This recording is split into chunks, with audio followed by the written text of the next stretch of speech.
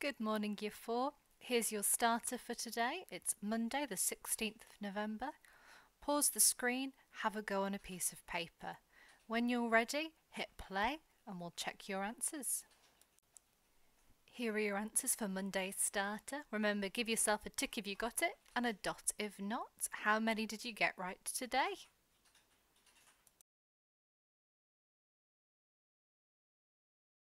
We're starting out today with our 9 times tables on timestables.co.uk. They've got a five step plan to help us learn and practice our 9 times tables, ready for us to try some questions later on. Step 1 is to read the times table out loud and repeat it as many times as we need to.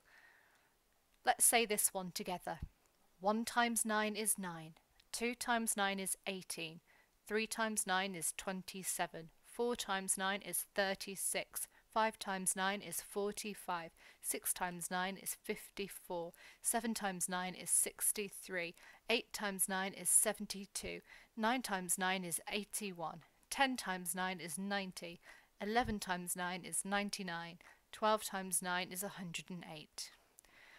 I would say those out loud quite a few times. I'd maybe ask a friend, a sibling, a parent to come and help me with that as well to make sure I'm saying them correctly in the right order.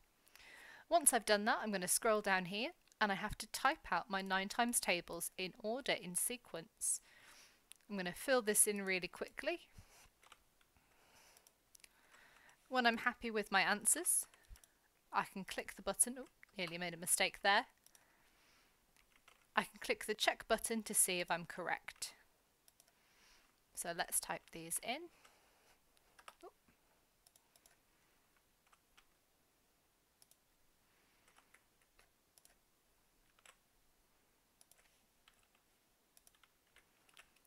There we are, and I'll hit check. Let's see if I'm correct.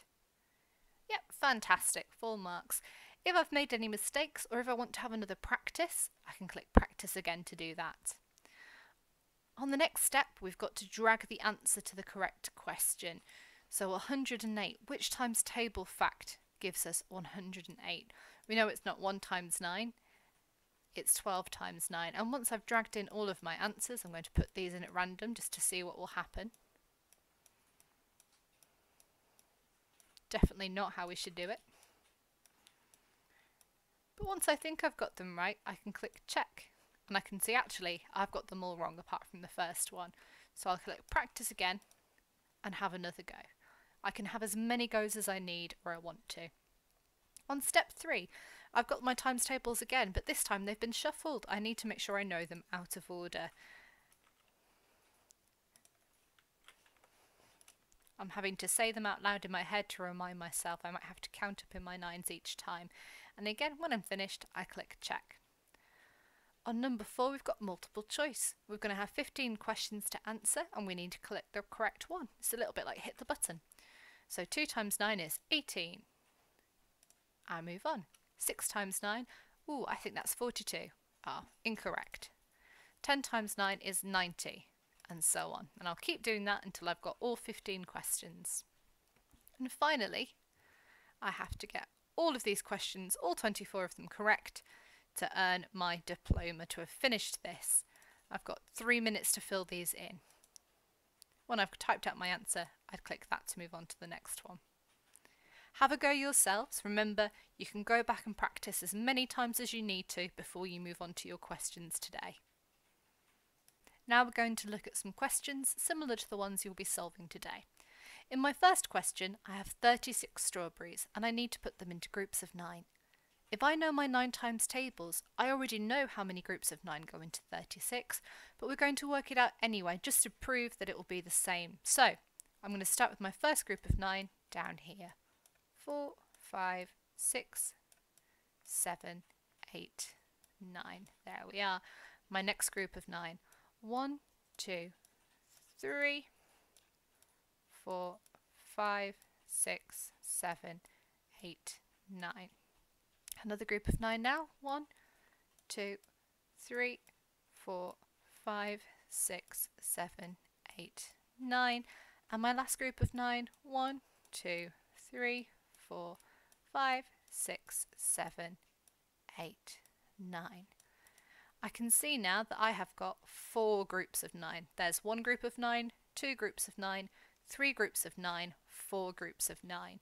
So I know that 36 shared out into groups of nine will give me four groups. Now I've got the same 36 strawberries as before, but I need to put them into nine groups. Okay, so I'm going to start out, here's one group, two group, three groups, four groups, five groups, six groups, seven groups, we'll do eight groups, nine groups, and I'm going to line the rest of my strawberries up so they make one of these groups here. So one, two, three, four, five, six, seven, eight, nine, one, two, three, four, five, six, seven, eight, nine, one, two, three, four, five, six, seven, eight, nine. Now I've split my strawberries into nine groups and I can see in each group there are four strawberries. That's really similar to here where there were groups of nine and there were four groups. So I could have four groups of nine or nine groups of four. And that's because we know that 9 times 4 equals 36. And because of that, we know with our law of commutativity that 4 times 9 equals 36 as well. Now my next question is one that you're going to face today. I've got some cubes here and you might not remember looking at cubes last year in year three. It would have been during lockdown. But a cube has got six faces. We can only see three at the front, but if we were to count all the faces we can't see, and you can see I've got a cube net here, there are six of them. So first I need to know how many cubes are there. Well, there's one, two, three, four, five cubes. Now I need to know how many faces on each cube. Well, I've just looked at that and I know there are six faces on a cube. How many faces are there altogether? Well, I've got six faces here, two lots of six faces, three lots of six faces, four lots of six faces, five lots of six faces. I need to know what 5 times 6 is going to be. Well, 5 times 6, I know my 6 times tables, is going to be 30. Today you're going to have a question very similar to this, but using the 9 times tables instead. Remember when you get to it that there are 6 faces on a cube. My last question is a very tricky one, and it's like the this is the last question you're going to face today. In our Teams meeting on Friday, lots of you said that the last question was often the trickiest for you, so I wanted to show you an example of how to work it out here. So in this question, in, we've got a number puzzle. There are two hearts and a square, and the number puzzle tells us that a heart times a heart times a square will give us the answer 81 it's asked me to find three different values for this heart and for this square. So that's three different numbers these hearts and squares could stand for. Because they could stand for any number. For example, they could stand for 2 for the hearts, and the square could stand for 3. And if that were the case, I would do 2 times 2, which is 4, times 3, 4 times 3 is 12. But I can see that's not my answer, so I know that they can't be the values here today. I've already started to work this question out by thinking about what numbers do times together to make 81. And straight away I thought of 81 times 1. But how will this fit here? I can't do 81 times 81 times 1, but I could do 1 times 1, because 1 times 1 is 1, times 81, and that would give me the answer 81. So the value of my heart could be 1, and the value of my square could be 81.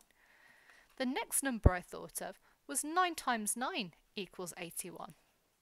Now I can't fit 9 times 9 on here because they can't all be 9, but I could do 9 times 9 and my square could be worth 1. 9 times 9 is 81 and 81 times 1 is 81 as well. So my heart could be worth 9 and my square could be worth 1. There is another value that these shapes could take. I've started to work it out up here. I wonder if you can spot the link when it comes to solving this on your question. If you're feeling stuck, remember you can ask for help in the Ask the Teachers channel.